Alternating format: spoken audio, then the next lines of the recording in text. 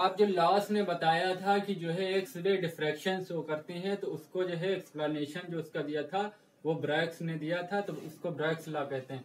तो ब्रैक्स ने बताया कि अगर जो क्रिस्टल होते हैं, वो सिमेट्रिकल होते हैं उसमें सिमिट्री होती है। मतलब उसमें एक प्रॉपर डिस्टेंस पर एटम पाए जाते हैं।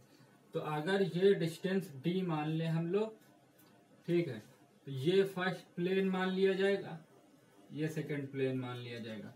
ठीक है इंसिडेंट रे आई वेव फ्रंट आया, पहला वेव फ्रंट आया तो ये रिफ्लेक्ट हो गया। फिर ये दूसरी वेव आई, यहाँ से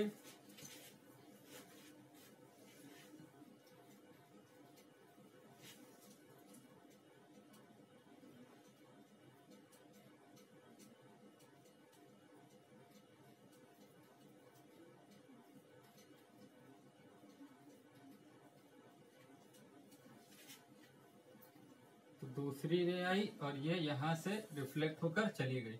ठीक है? तो ये मान लिया पहला वेव फ्रंट है, ये रिफ्लेक्टेड वेव फ्रंट है। तो ये अगर थीटा एंगल बना रहा है तो ये एंगल भी क्या होगा? थीटा होगा। ये अगर एम एन और ये ओ मान लें, ठीक?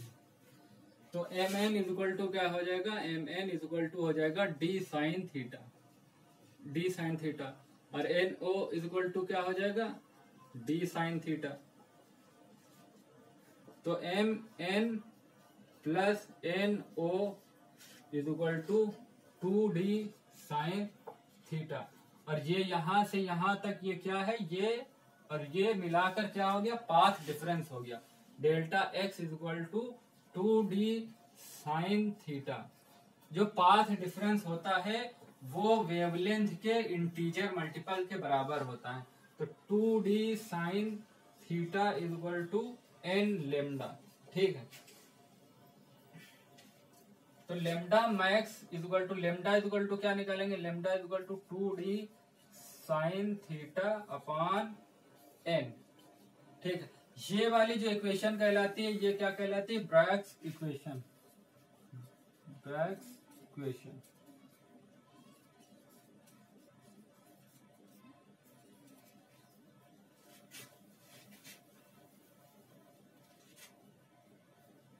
अब ये लेमडा इज़ इक्वल टू हो गया two d sine theta upon n अब लेमडा मैक्सिमम कब हो सकता है? लेमडा मैक्सिमम तब हो सकता है जब एन इज़ इक्वल टू क्या आ जाए? वन यहाँ पर एन इज़ इक्वल टू क्या रख सकते हैं? वन टू थ्री फोर कुछ भी रख सकते हैं, ठीक है? फोर फाइव तक, ठीक? तो वहाँ पर कई जो है मैक्सिमम मिलते हैं, कई मिनिमम मिलते हैं, ठीक है? तो यहाँ पर lambda max is equal to क्या हो जाएगा? लेमडा मैक्स तभी होगा जब साइन थीटा वन के बराबर हो जाए। Two d sine theta ninety हो जाए नाइनटी की वैल्यू वन होती है और n is equal to one हो जाए। तो टू डी के बराबर हो जाए। लेमडा मैक्स टू डी के बराबर हो सकता है।